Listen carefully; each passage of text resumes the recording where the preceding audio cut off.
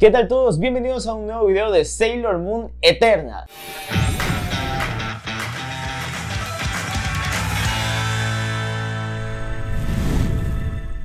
Y es que sí, esta mañana amanecimos con la gran noticia de tener un nuevo adelanto de la película de Sailor Moon Eternal que yo lo reproduje un par de segundos, unos 3 o 4 segundos y ya quedé tentado.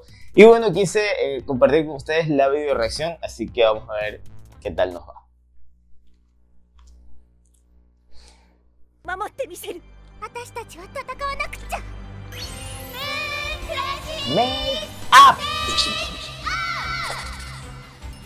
私の ¡No! 夢それは一人前の戦士になってみん Sale なを así. 守ること El símbolo de la こ frente. の星とそして Sailor 仲間を Man.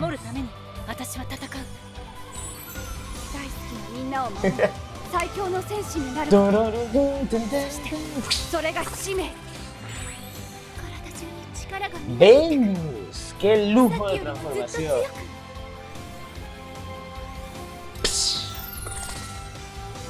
私たちの中から溢れてくる。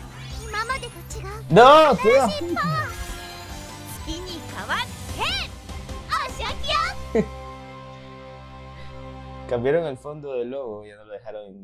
Oye, qué locura.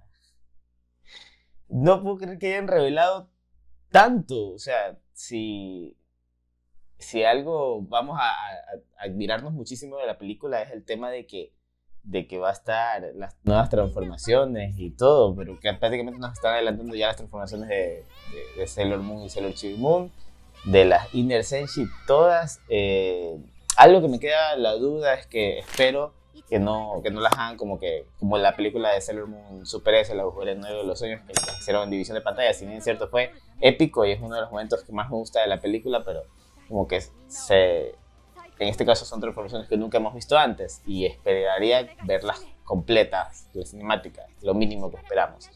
Eh, por otro lado, si bien es cierto, están manejando como que la misma coreografía de, de las transformaciones de, de siempre, icónicas, pero el detalle, hay, hay muchos frames extra, justamente en el caso de, de Mercury, de Mars y de Venus. De Júpiter no alcancé a notar si es que realmente hay un, un tema extra, pero estaría verlas completas, probablemente sí, ya que a todas les han aumentado. Y la calidad es distinta, el, los planos incluso de, de- del ángulo de las cámaras eh, son aspectos de la transformación que no hemos visto antes, porque antes eran mucho más cerrados, a pesar de que eran Full HD. Ahora obviamente como es para cine, no sé si es que es el tema que lo han hecho ampliar mucho más el formato, porque vemos casi que prácticamente esferizada la, la transformación, al- algo que no veíamos antes, ya que, por ejemplo, ya Mercury al, al envolverse ahora sí se ve que se está envolviendo prácticamente en una burbuja o una esfera, al igual que el fuego de Mars ya, ya atraviesa de forma más redondeada. De Júpiter siempre veíamos que hacía una especie de átomo. También que vi, no sé si será por el tema de que es el manga, pero bueno, aún no vemos las, las nuevas plumas de transformación, si realmente saldrán o si salieron antes los, estos cristales, porque solo vemos que atrás está el, el talismán la rapsodia y el, y el símbolo de, de cada una, que también me gusta, que lo han hecho súper emblemático. Ahora sí se nota muchísimo más. Siempre con las Howler Senshi mantenían más el tema de los símbolos, pero con ellas, en esta versión de la transformación, se nota muchísimo más, le han dado más realce.